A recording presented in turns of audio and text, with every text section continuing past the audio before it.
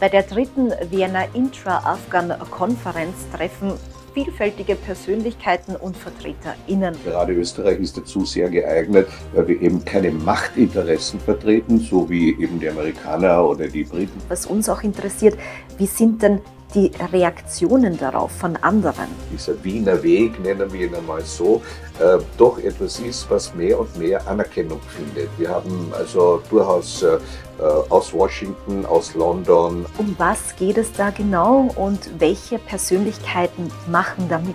Wir hier einen politischen Prozess ähm, etablieren wollen und fördern wollen und keinen militärischen. Was wichtig sein wird, ist noch breiter werden, noch umfassender werden, zivilgesellschaftliche Elemente stärker mit einzubeziehen.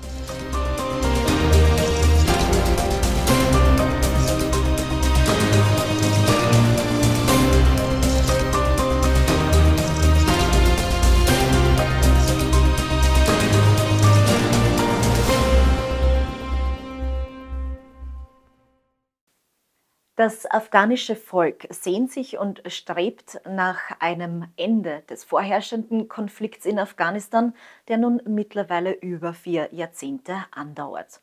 Bei der dritten Vienna Intra-Afghan-Konferenz treffen vielfältige Persönlichkeiten und VertreterInnen aus unterschiedlichen Gruppierungen zusammen. Wichtig ist es, Synergien zu finden und auch zu schaffen, die unterschiedlichen Meinungen, Perspektiven anzuhören und auch zu erörtern.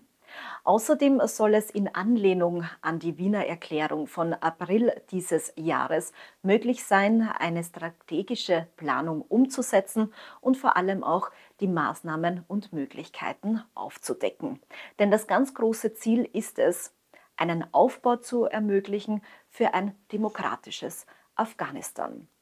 Dazu begrüße ich nun im Talk recht herzlich den Präsidenten des Österreichischen Instituts für internationale Politik, Wolfgang Petritsch. Herr Petritsch, die Konferenz findet mittlerweile zum dritten Mal statt. Ähm, was haben sich denn für Unterschiede gezeigt in den Runden davor und in der, die in diesem Jahr stattfindet? Als wir im September vergangenen Jahres, also 2022, äh, begonnen haben mit der ersten Konferenz, habe ich mir gedacht, naja, das wird wahrscheinlich die erste, aber vielleicht auch die letzte sein. Es war aber dann doch in einer zwar kleinen Gruppe ein so großer Erfolg, dass äh, die Teilnehmerinnen sofort gesagt haben, wir wollen eine zweite Sorgekonferenz haben und dass die dritte, äh, als die zweite Konferenz stattgefunden hat im April 2023 ähm, hat sich herausgestellt, dass sich in der Zwischenzeit eigentlich so etwas wie eine Wiener Gruppe der afghanischen, ähm, äh, des afghanischen Exils entwickelt hat und die Bereitschaft weiterzumachen sehr groß gewesen ist. Bei der zweiten Runde waren nicht so viele Teilnehmer zugegen wie bei der ersten. Woran können Sie sich das erklären? Ja, also das ist zum ersten Mal eine organisatorische Frage. Auch als zweiter Faktor spielt hier mit, äh, dass äh, viele in der Diaspora hm, diese Wiener Aktivitäten zuerst einmal mit einer gewissen Skepsis betrachtet haben. Wird es nicht einseitig werden zum Beispiel? Sollen wir dort überhaupt teilnehmen? Und das war eigentlich dann meine wichtigste Aufgabe, zuzuschauen und zu unterstützen, dass das eine offene Plattform ist, äh, dass man sich in Wien treffen kann mit verschiedenen, mit unterschiedlichen Meinungen und Positionen. Denn es muss so etwas wie eine afghanische demokratische Bewegung geben. Nicht etwas, das wir von außen jetzt einmal da draufsetzen. Das war wahrscheinlich der große Fehler der vergangenen 20 Jahre. Und ich glaube, gerade Wien, gerade Österreich ist dazu sehr geeignet, weil wir eben keine Machtinteressen vertreten, so wie eben die Amerikaner oder die Briten das oder die Sowjets das in der Vergangenheit gemacht haben, was sich schon gebildet hat, was Sie vorhin erwähnt hatten, ist die sogenannte Wiener Gruppe. Können Sie uns diese noch ein bisschen genauer erläutern, vor allem auch, um was geht es da genau und welche Persönlichkeiten machen damit? Die Wiener Gruppe oder der Wiener Prozess für Afghanistan äh, sich auf bestimmte Prinzipien beruft, auf, die, auf, das, auf das demokratische Prinzip, auf das Prinzip der Gleichheit, der Gleichheit der Menschen, der Geschlechter, äh, dass sich äh, dass, äh, die Wiener Prinzipien auch beziehen auf äh, sozusagen, äh, sie, äh, die ist einschließend und nicht ausschließend. Und die, äh, das bedeutet auch, dass wir hier einen politischen Prozess ähm, etablieren wollen und fördern wollen und keinen militärischen. Das ist uns ganz wichtig zu sagen. Wie groß ist die Gruppe und können Sie uns noch ein bisschen mehr zu den Persönlichkeiten sagen, die mit dabei sind? Die heutige Gruppe umfasst circa 50 äh, Personen, Persönlichkeiten, die äh, aus einem wirklich sehr breiten Spektrum, gesellschaftlichen Spektrum äh, Afghanistans kommen.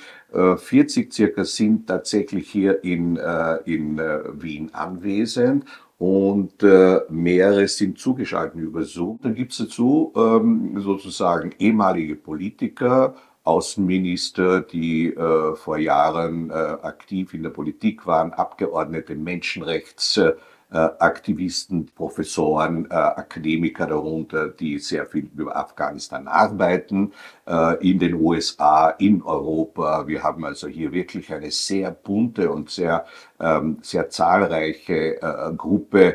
Insofern ist es uns wichtig, dass wir jetzt noch nicht zusteuern auf eine Führungsgruppe sozusagen, wo dann ein Name dafür steht, sondern wir wollen hier noch möglichst in die Breite gehen, möglichst viele versammeln und daraus wird sich dann logischerweise, das ist ja immer ein, das Ziel eines politischen Prozesses, dann so etwas wie eine Struktur entwickeln. Aber so weit sind wir noch nicht. Ich glaube, dass wir jetzt gerade mit dem, mit der Idee einer, äh, einer Roadmap die erarbeitet wurde in zwölf Zoom-Sitzungen seit April äh, dieses Jahres, dass wir mit, mit dieser Straßenkarte sozusagen äh, jetzt dann äh, voranrücken werden. Inhaltlich gesprochen, äh, welche, äh, welche Staatsform äh, soll Afghanistan bekommen? Wahrscheinlich wird man im Großen und Ganzen dabei bleiben. Aber ein großes Problem äh, der, der, der jetzt noch gültigen Verfassung ist wahrscheinlich, dass sie zu zentralistisch ist. In einer Gesellschaft mit so vielen Stämmen, eine Stammesgesellschaft in vieler Hinsicht, ist so eine Zentralregierung, wie sie bisher bestanden hat, äh, offensichtlich nicht das Beste wenn man jetzt die Geschichte Afghanistans anschaut, wo immer eigentlich äh, Afghanistan von außen dominiert worden ist, äh, dass vielleicht ein Status einer gewissen anerkannten Neutralität mit guten Beziehungen zu den Nachbarstaaten, und das sind mächtige Nachbarstaaten natürlich, wie China oder, oder Pakistan, dass das ein Status wäre, der äh, Afghanistan vielleicht entgegenkommt. Also kann man so zusammenfassen, zu Beginn möchte man natürlich alle Einzelnen mal hören, um später dann das große Ganze zu schaffen. Und so vor allem mit der Diversität im Mittelpunkt. So, so ist es. Es ist so, dass man einerseits natürlich auch sieht, gut, ich meine, die Taliban sind sozusagen eine, eine, eine Realität in Afghanistan, aber man kann nicht mit einem Aspekt eines Landes 100 Prozent der Macht dann für sich äh, arrogieren. Das ist nicht legitim. Ja, das war auch nicht intendiert durch den Friedensvertrag von Doha, aber es ist so passiert. Ja. Äh, aber da sollten wir gerade hier in Österreich und in äh, Europa, in der Europäischen Union, das sehr unterstützen und äh, wir haben hier durchaus auch das Einverständnis anderer westlicher Staaten, die sagen, das ist wahrscheinlich jetzt der Ansatz, der, der richtige Ansatz. Der wird, das wird langsam gehen, es wird länger dauern, aber es ist notwendig. Andererseits, glaube ich, ähm, ist, es, ist der Zeitfaktor ein sehr wichtiger. Wir können nicht mehr lange warten. Was uns auch interessiert, wie sind denn die Reaktionen darauf von anderen, von anderen Ländern, von internationalen Organisationen? Die internationalen Organisationen spielen eine wichtige Rolle, hier vor allem natürlich die Vereinten Nationen. Die haben vor kurzem erst eben jetzt Ende November einen Bericht veröffentlicht, der noch gar nicht öffentlich äh, ist, aber äh, ich konnte ihn bereits einsehen. Und da werden viele dieser Ideen, die wir seit September vergangenen Jahres diskutieren, auch angesprochen. Ich erwähne hier zum Beispiel eben diesen Roadmap. Ja. Die Vereinten Nationen schlagen vor, dass sich hier alle zusammentun und so eine, eine, eine, eine, eine uh, Roadmap eben entwickeln. Ja, das ist schon aber sehr wichtig. Auch ist sehr wichtig, dass der Begriff inklusiv agieren vorkommt. Das heißt also, man fordert hier alle Beteiligten, das nennt man halt so schön auf ähm, äh, äh auf dem äh, im UNO-Englisch Stakeholders, also die, die ein Interesse da drin haben, die sollen, ähm, müssen zur Kenntnis nehmen, dass Afghanistan ein multiethnisches, multikulturelles, multireligiöses Land ist. Das muss sich widerspiegeln in der gesellschaftlichen, in den gesellschaftlichen Regeln, letzten Endes in der Verfassung und dann in der Regierung natürlich auch. Ja. Dieses Vienna Process, glaube ich, äh, ist was der große Erfolg der ersten und der zweiten Konferenz gewesen ist, der spiegelt sich wieder heute bei Beginn schon in dieser äh, dritten Konferenz wieder. Und dass wir hier dazu eingeladen haben, eine NGO-Konferenz, die vor kurzem hier in Wien stattgefunden hat, wo, wo die afghanische Zivilgesellschaft sich in Wien getroffen hat separat von dem politischen Prozess, den wir hier organisieren, ist schon ein Hinweis darauf, dass der Dialog zwischen den verschiedenen Gruppierungen bereits passiert.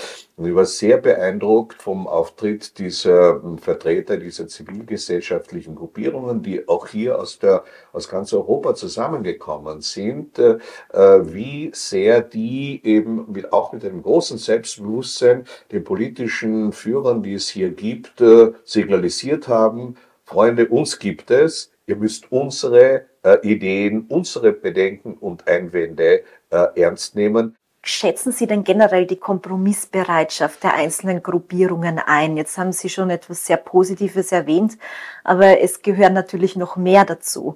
Ähm, ja, was denken Sie, wie Kompromissbereitschaft ist man und äh, vor allem auch, geht es dann wirklich auf?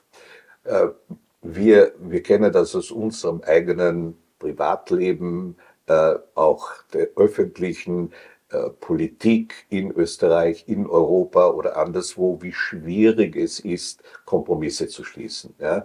Ähm, weil eben die Einstellung besteht, äh, Kompromiss ist Schwäche.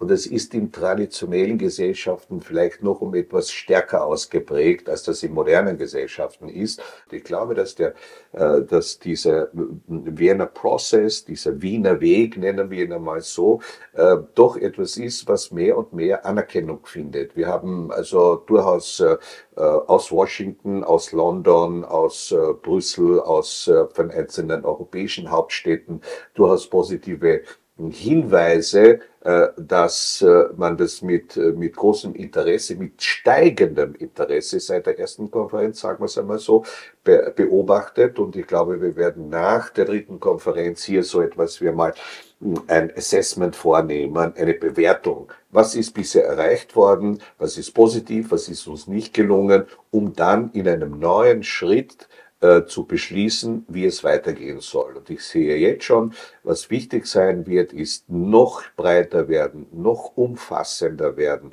noch mehr, wie es so schön heißt, Outreach zu betreiben, zivile, äh, äh, zivilgesellschaftliche Elemente stärker mit einzubeziehen. Könnten Sie sich dann im Zuge dieser Ausweitung vorstellen, auch in Zukunft eine Vertretung der Taliban hinzuzufügen, einzuladen und mit ihnen gemeinsam den Prozess zu gehen?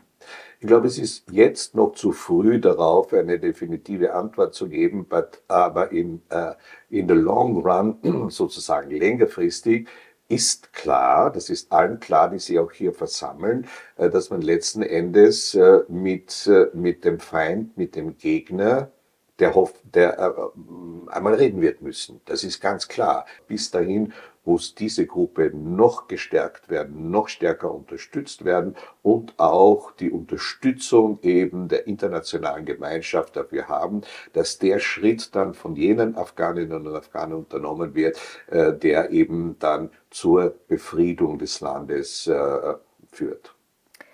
Dann wünschen wir weiterhin viel Gutes und sagen Danke für Ihre Zeit und für die ausreichenden Informationen. Dankeschön. Danke Ihnen sehr herzlich.